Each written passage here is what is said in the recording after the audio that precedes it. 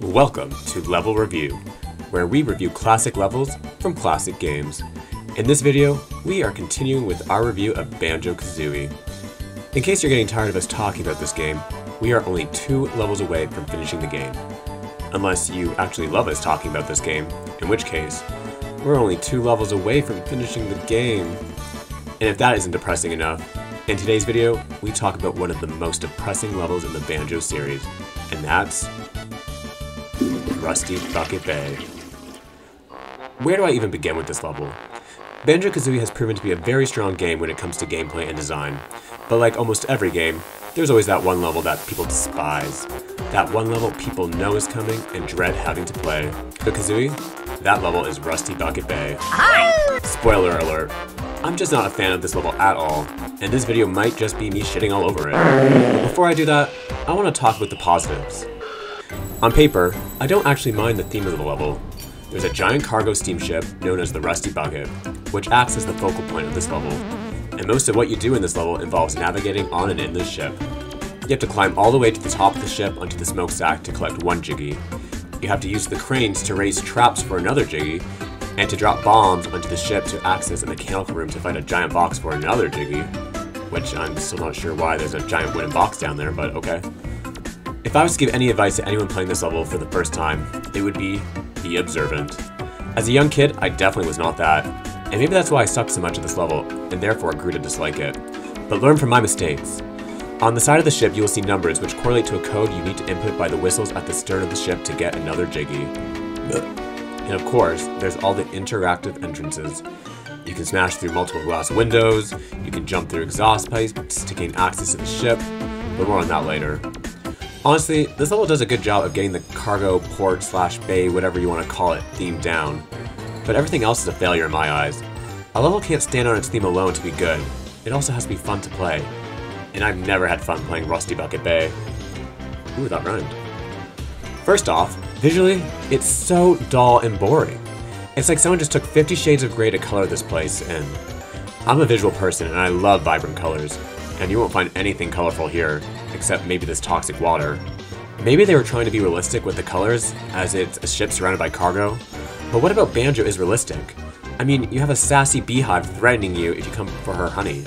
Touch my honey this time and you'll be sorry, bitch. But if you look at most of the best levels in this game, you'll notice color is a big emphasis, and I think that was a miss here.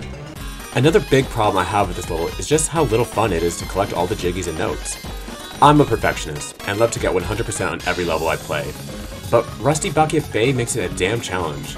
The notes alone are scattered in so many different and random places. You have to find every room in the ship, go in each cargo box off the side of the ship, random holes in the wall that lead to other areas, this anchor hole.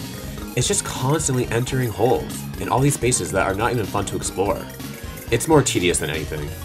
I get that this level is supposed to be hard, since so far the levels have been fairly easy to 100%, but at least make it enjoyable. And I'm sorry, but for one Jiggy, what they expect you to do is quite difficult. Dare I say, the hardest in the game?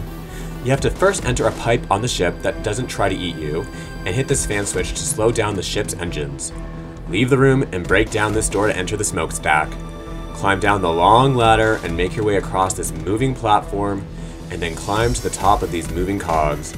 Hit both these propeller switches to stop the ship's propellers where a Jiggy is chilling behind.